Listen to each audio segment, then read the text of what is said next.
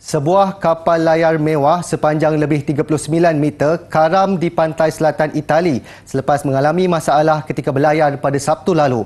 Kapal layar bernama Saga yang dibina di Monaco pada tahun 2007 sedang berlayar dari Gallipoli ke Milazzo di Pulau Sicily.